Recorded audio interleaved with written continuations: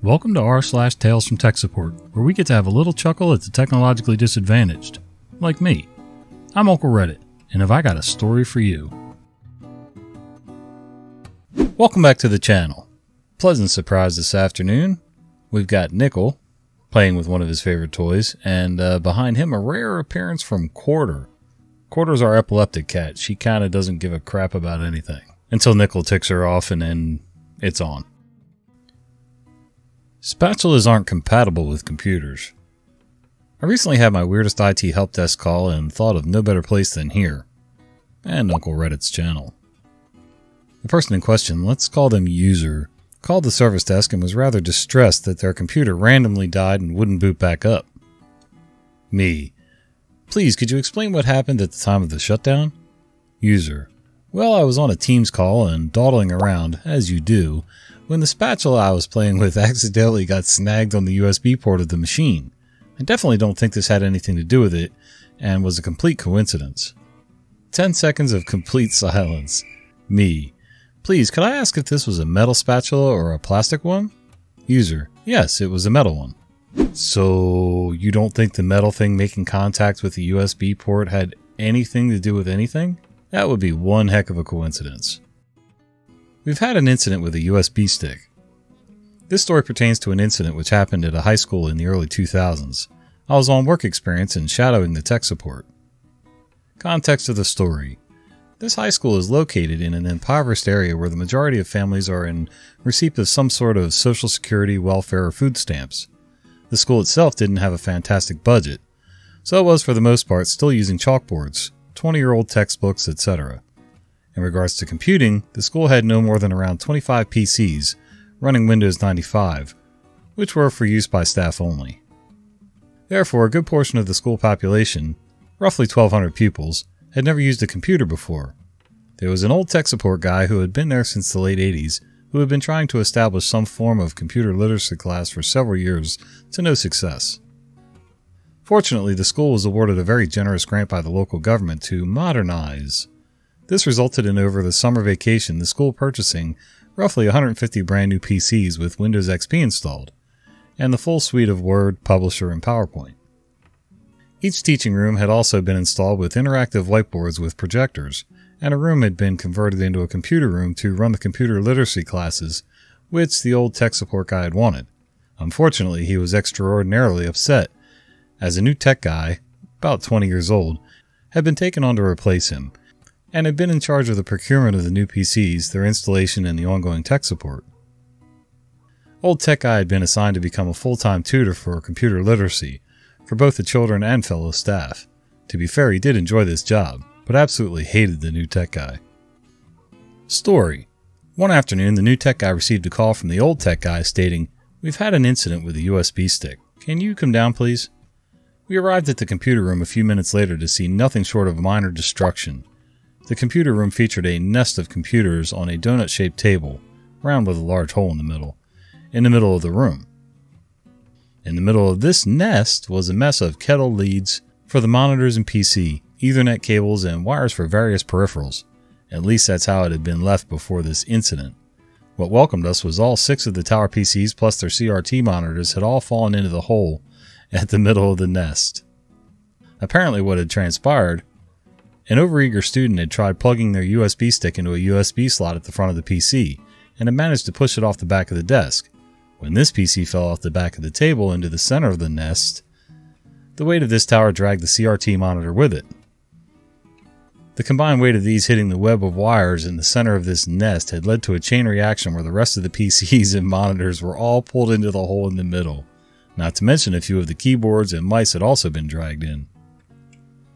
The old tech came across to the new tech smiling like a Cheshire cat from Alice in Wonderland, asking that the new tech fix the problem. We spent the next hour untangling the mess of wires and extracting the PCs and monitors from the middle of the nest. Some genius had screwed the desks to the floor.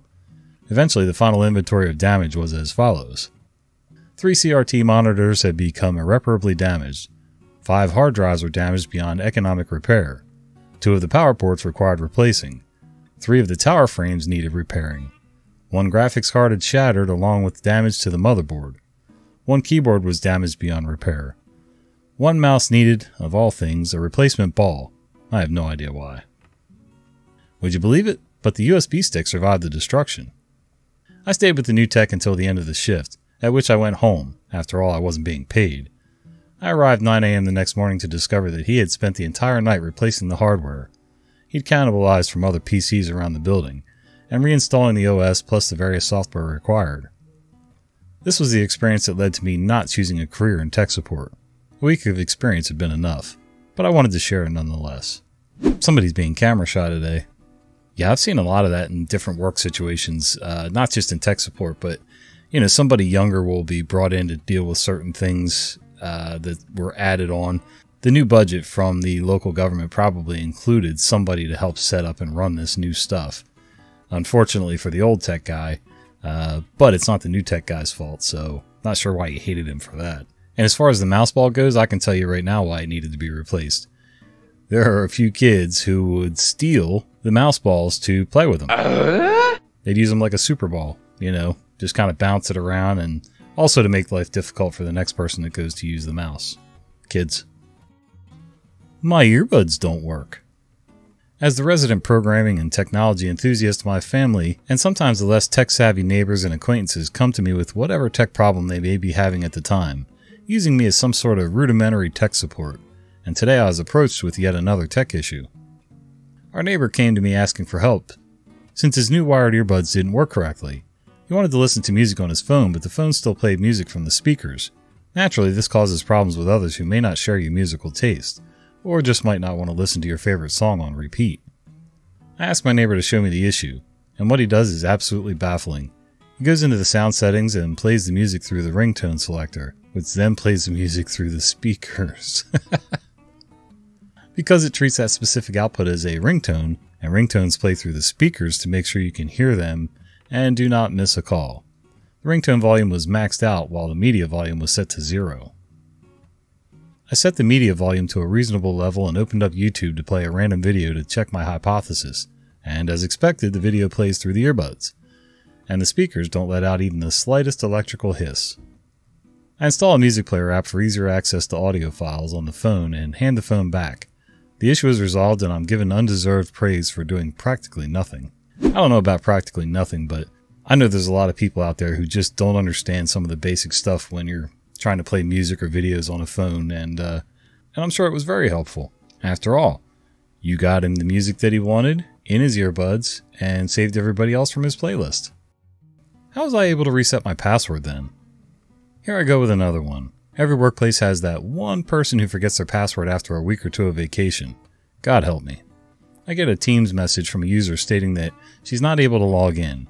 Here I am assuming VPN, so I figured, okay, I can reset her AD password and she can get into VPN and cache it to the laptop later. No. She forgot her password to log into her work laptop. Mind you that we are working remotely and the laptops are not connected to the domain unless they're connected to the company VPN. The following is what happened. Me. Hey, so I went ahead and reset your password. Try logging in again. User. Okay, I see the welcome screen spinning, then it says incorrect password. Me. Oh, you're attempting to sign into the laptop itself? Gotcha. Let's go ahead and try the last known good password. User. I'll try again, but it keeps saying incorrect. I've been gone for two weeks. Me. That sounds like a well-rested vacation. User. It says the password is incorrect. I don't understand. It shows the welcome loading message then says incorrect password. Why does it do that? Me. This happens when the laptop is trying to check the entered password against what it remembers. Note, I put things in layman terms all the time, but this time it went nowhere. User. Okay, but I tried the reset password as well, and that didn't work. Me. Unfortunately, that won't work until we get to a later step. For now, we have to try to sign into the laptop using the last known password. User. No, there was something else you did last time where I worked remotely and you reset my password and it worked. Me. Yes, I do believe I assisted, but in that situation, we had you sign into the laptop using your old credentials sign into the VPN using the temporary password, and you were able to change the password by doing Control Alt Delete, change password, remember? User, no, that's not what happened. You changed it and I was able to log in right away. I was getting ticked off at this point. We have a specific way of having users change their passwords while working remotely, and she was telling me that's not how it happened. She kept asking me why it worked last time and it wasn't this time. I kept reiterating that the laptop must be connected to the company network to check against your new account credentials. She wasn't having it, so I offered a solution until she could come into the office to have her log into the laptop while connected to the company's network. I can't stand when people can't take accountability.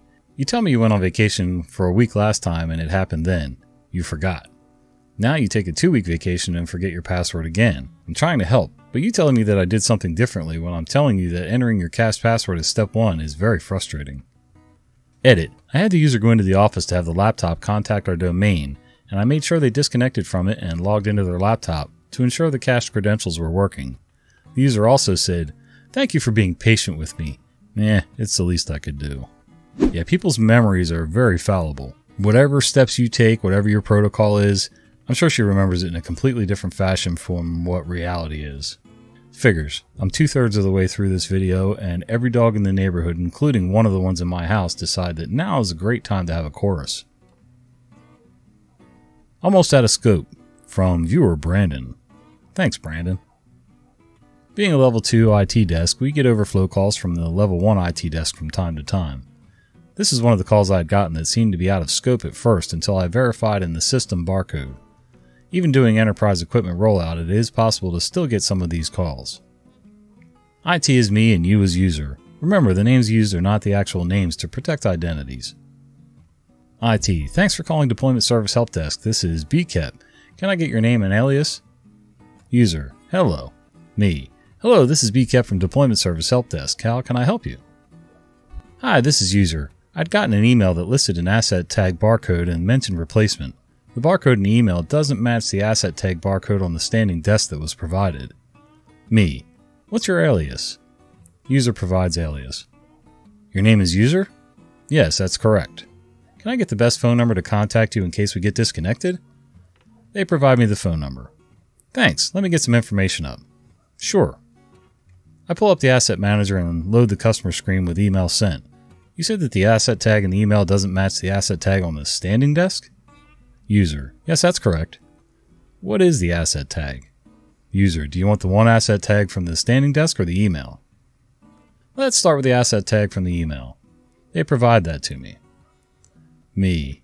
Searching the asset tag barcode and asset management. That asset tag is coming back to an HP 600 G2 desktop. Can you read what it says in the email? User reads the email. Then there's the asset tag that I gave you that doesn't match the standing desk. Me. That's because the HP 600 G2 desktop will be replaced. User, so they're not replacing the standing desk? Me. No, we're not replacing the standing desk. The computer will be replaced. The computer is going to be replaced with the HP 600 G6 desktop, which is a newer model. User. Why is the computer being replaced? Is there something wrong with it? Me. It's just routine as the computer reaches the end of their support life. It's then replaced with a newer model. User. Do you know how the computer will be shipped to me? Me. It's typically going to be shipped through UPS. User. What form do I need to submit to move forward with the replacement? Me. There should be an email that provides a link for the form to fill out. It does show it was sent out about an hour ago. User. I haven't gotten that email yet. Only just recently gotten an email about evacuation steps and drills. Me. Should be there any minute, and it provides the steps to follow on how to submit the form. User. I'll have to look for it later. It's too early in the morning on a Monday to deal with this. I have so much work to do already to deal with this. Me, I understand that. User, I guess that means I need to work on backing up the computer and then reconnect everything. Once I get everything set up the way I want it and get used to it, they always must replace it. Me, the computer is just being replaced with a newer model since it is at its end of support. Remember, you can always give us a call for help. We can help you back up the old computer and restore to the new computer. Even help with setting up the new computer to your liking. User. Thanks, I'll do that. Is there anything else I can help you with? User. That should be it for now. Thanks. You're welcome. Have a good day. You never know what calls you might get in IT, but just because it seems out of scope of IT at first, doesn't mean it's out of scope by the end of the call. Hey, at least you were patient with the guy and willing to help him out, and at the same time, that user was willing to listen to what you actually had to say and kind of let it process and realize that, yeah, you're just getting a new computer, your desk is fine. Good for you for not flipping out on them. And thanks for sharing this story with us, Brandon. I really appreciate it. Hey, if you like this video, do me a favor. Go ahead and click this one on the screen. I think you're going to like this one too. See ya.